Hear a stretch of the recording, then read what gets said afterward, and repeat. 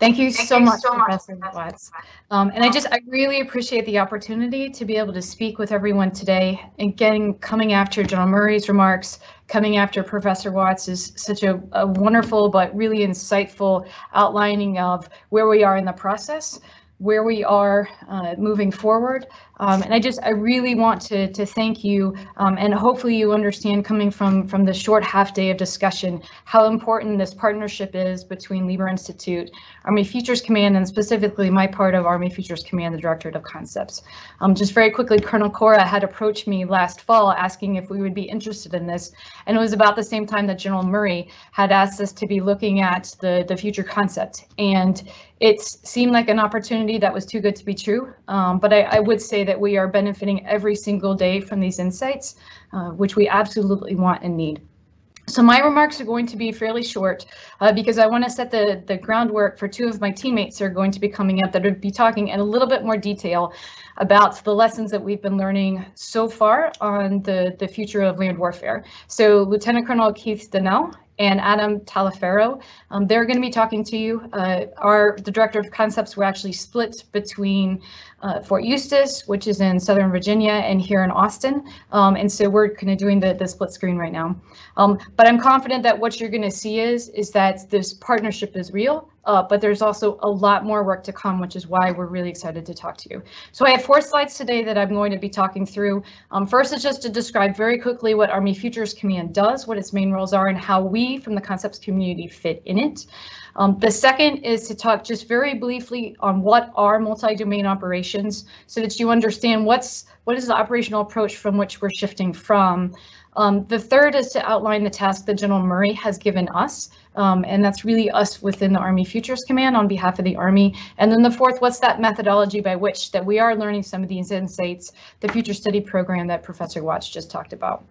Um, but before I jump into this, what I'd like to say, and this is really building off of what Professor Watts just mentioned about how seriously that we in uniform uh, and then across the Army, whether it's the civilians or the military or those that are working with us, take seriously. Um, so three points quickly. So one um, is that the, the ethical principles that are outlined in the Department of Defense's AI approach, the AI strategy, those are consistent between now and in the future. Um, as far as those, those principles that are outlined in the Geneva Convention, that every single one of us on our identification card says specifically, but they're also part of the American founding principles. And that's a core of who we are and a core of where we're moving forward. The second thing though, and this is really building off of, of the discussion that General Murray had, but also some of the, the things Professor Watts brought up, is that when we look into the future and if we are fighting a peer adversary, that warfare will not look like the past 20 years in counterinsurgency. And that has real implications, both from an operational perspective, but also directly from the, the legal and the law of armed conflict, the implications. And then the third, and this very clearly pulls on what Professor Watts just mentioned, um, which we on the concept side feel extremely strongly as well, is that our adversaries are not likely going to be bound by the same ethical standards that we have. Um, however, if we can understand how we think they're going to be using these tools, it can help us better respond while still remaining the Americans that, that we are and that we're going to be holding ourselves accountable for. Um, so someone that is not from the legal community but has deep respect for the community um, that we're working with, we're really eager to work together on these collective challenges. So just very quickly, the, the slide that you see in front of you, um, Army Futures Command uh, stood up about three years ago.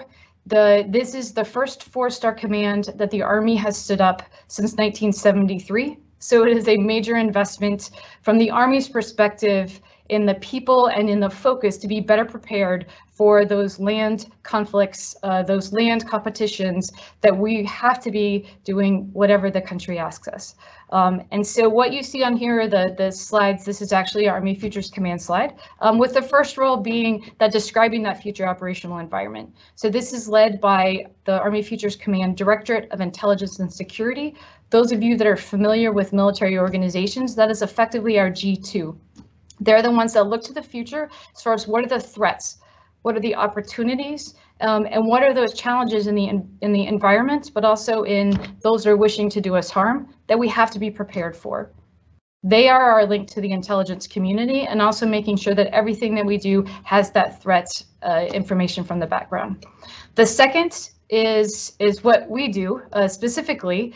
The Army Futures Command is the Army's lead for concepts, for the future concepts, which includes my directorates, which we are directly a part of the Futures and Concepts Center, led by my boss, who's Lieutenant General Scott McKean. And so a concept, how we describe it, or an aspirational idea.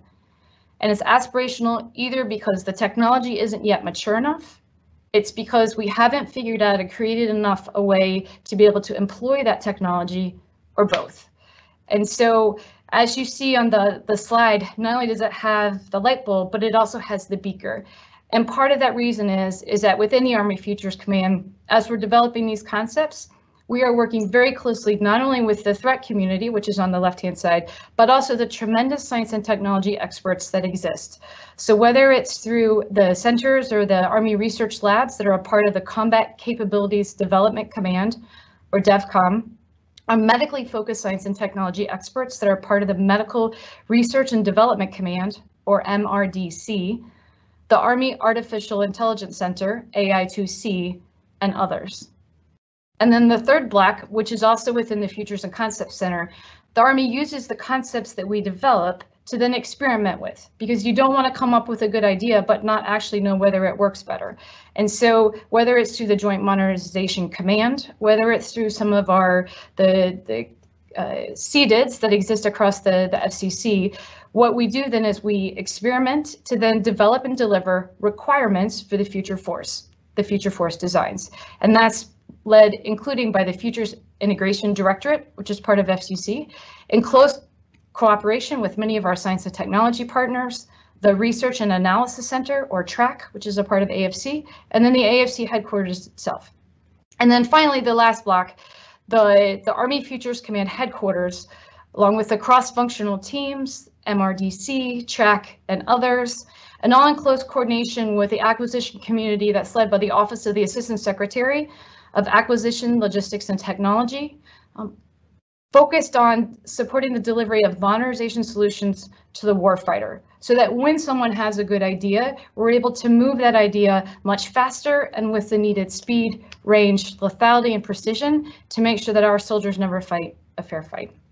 So if we go to the next slide, please. Um, so just very briefly on where the Army is today on concepts um, before sharing where we're going. So in January of 2018, the National Defense Strategy came out and said we needed to focus on great power competition. And so building on focused experimentation that the Army had done since 2014, the Army published its current operational approach, which we call multi-domain operations or MDO, and that we published in December of 2018 to focus on new operational challenges that we faced at the time. Those challenges included the multiple layers of standoff, of which we call the anti-access area denial or A2AD, which make us much harder for the joint force to get to where we need to go. And we're going to be challenged in all domains. So that's the land, the sea, the air, but also space and cyberspace, electromagnetic spectrum, and the information dimension. All of those domains we expect to be contested, and we're going to have to fight for windows of opportunity. We know that there are multiple great power competitors. This isn't back during the Cold War where we knew things were pointed in one direction. However, we are interconnected economically, along with our allies and partners with these competitors. Um, and in addition, we also have regional and transnational threats that we have to be prepared for in addition to the large scale peer conflict. And then finally, in addition to the conflict and what General Murray talked about specifically, is that ongoing daily fierce, intense competition for power and influence. We have great power competitors that want to win without fighting. And we want to also make sure from a deterrence perspective that we're not losing without fighting. Um, and that's why the work to have the strong allies and partners together and how we go about competing, how we go about conflict really matters. And so to counter these challenges alongside our joint partners, the Army identified the three tenets or foundations that you see on the slide. We need to develop these ahead of time so that we're able to prosecute warfare. Um, these also help us in competition to be better positioned to provide that deterrence, but to also to be able to assure and work with our allies and partners. Um, and the three tenets that you see, the calibrated force posture, what that is effectively is we need units and capabilities to be able to be in key locations around the world, whether that's permanently or being able to move in and out um, so that they can work with our allies and partners. The second one, we need the units and leaders to be able to work across the domains. So the multi-domain task force, which you, you may have heard of, but we need these units, we need leaders to be able to, to leverage capabilities in space, to leverage capabilities in cyber, to be able to work with our, our joint partners in a way where it's it's much more than just the land fighting on and from that we've done um, up to this date. And then last, this is one of the topics that General Murray brought up as well as convergence. So we need to be able to link all sensors, the best shooter, the right command and control node in near real time. And this allows to speed up the decision cycle, the sense, understand, decide, act, and assess to more rapidly and effectively than our adversary um, in what Chris Brose and others have called kill chains or kill webs. And our convergence also, we can't just talk to the Army, and we have to be able to work with our joint partners, so the Army, the Navy, and the Marines, as well as our multinational partners. And so significant work is going on to implement, or what we in the Army often call operationalize, these multi-domain operations into practice. So in addition to the Army's six modernization priorities and tremendous effort of our eight cross-functional teams, much of this work is being led by the U.S. Army's TRADOC Training and Doctrine Command, excuse me, at the Combined Arms Center, um, including to update our doctrine of how the Army will be fighting um, the Field Manual 3.0 that next summer will be multi-domain operations. We're updating our curriculums at schools. So not only at schools like West Point, but those for our captains and our majors and our colonels and our generals, our sergeants and our enlisted, our, uh, our sergeant majors. Um, we're developing uh, synthetic training uh, in addition to updating our training that are combat training centers. We want to make sure that our soldiers have more and more realistic repet repetitions to help build some of that trust that General Murray was talking about is absolutely essential for us being able to use these new tools. And then finally, the systems that we have are developing greater speed, range, and convergence. So we need to have those new facilities so that we can actually train and prepare on them. However, as challenging as this future is, one of the highlights that's the Directorate of Intelligence and Security, so in the last slide, the, the, the left-hand side box, the future operational environment 2035 to 2050 that it outlined is that the potential for intensifying military threats and rapidly changing technology make it probable that by 2035 and beyond, future warfare is going to be different. And so just a couple of things that we're seeing. So the maturing disruptive technologies. General Murray talked about the AI, autonomy, robotics, all underpinned by data in the network. Um, absolutely could impact how we could fight, how we must be equipped, and how we must be organized in formations, and really forcing us to look at what must humans do in warfare. We are looking at how can forces hide, mask, uh, achieve surprise when we have near ubiquitous sensors. Um, information activities, so it's the movement of data and it's the movement of ideas moving at machine speed that's going to impact our tempo, whether it's and the, the character of the competition, crisis, and conflict. And then also from a Tesla example, the maturing sustainment methods. So whether the, the different alternative fuels that we have, semi-autonomous and autonomous delivery, advanced manufacturing, synthetic biology will absolutely impact, uh, especially if we're able to leverage some of these together. And all of these challenges I mentioned are still building off of the challenges that we identified in multi-domain operations. Um, so things are just becoming more, com more complex. So next slide. So as we operationalize multi-domain operations, we're also developing and then we'll experiment with a new operational level of concept for warfare for 2035 and beyond. And what we've listed here is a task that General Murray gave my team uh, when I arrived here late last summer, looking at how Army forces could employ decisive land power in 2035 as part of a joint force and a part of the combined forces, so working with our multinational partners, um, against a peer adversary, which will likely have a similar level of technology, intelligence, and will to win. Um, and so our task in about five pages which I must say, depending on your background, is whether that's a really long paper or a really short paper, is to provide the framework and a narrative or a story fashion that helps describe how the Army, working alongside our partners, could operate, could be equipped, and could be organized. Um, all right, and so the next slide. And so this is my final slide. And what this depicts is a key process by which we're developing this 2035 and beyond framework narrative, including with which the Lieber Institute experts are participating and have been a core effort, core teammates within this. Um, and this is what we'll be using to share some of the insights for the rest of the discussion this morning. And so we call this the Future Study Program or Unified Quest. It's the Army's formal, it's our Title 10 war game, um, providing Army senior leaders a versatile tool to be able to study whatever the most pressing operational leadership uh, um, doctrinal challenge that we have at the time. And so we do seminars, tabletop exercises and war games to help commanders think through what are these challenges, um, to help staffs and leaders to be able to stand what are the ways that we could do things better. Um, and this year, we're focused on the 2035 and beyond challenge. And so, so again, the what you see on the slide are the four events that we're having this year to develop this framework of the new operational concept.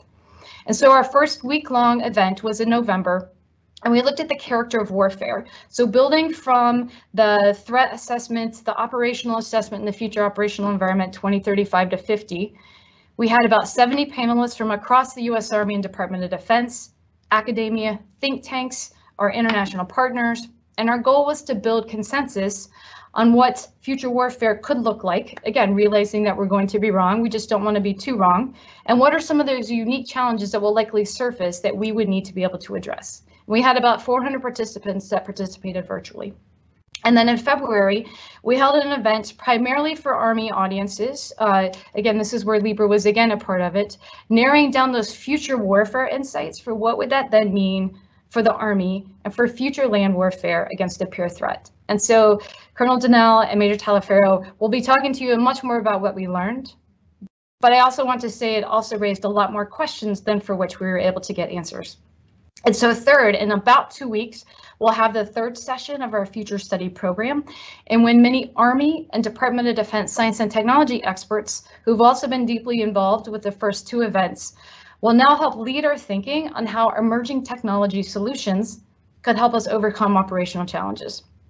And so this approach that we call Team Ignite, which you see at the bottom banner, um, is is designed to bring these experts together into the process from the beginning. And as General Murray told me in my in brief when I came, like the S&T community needs to help ensure that we concept writers aren't writing science fiction or fantasy. But on the flip side, we in the concepts community must help inform them so that they understand what are some of those priority solutions that could make a significant difference in how the Army is able to operate in the future.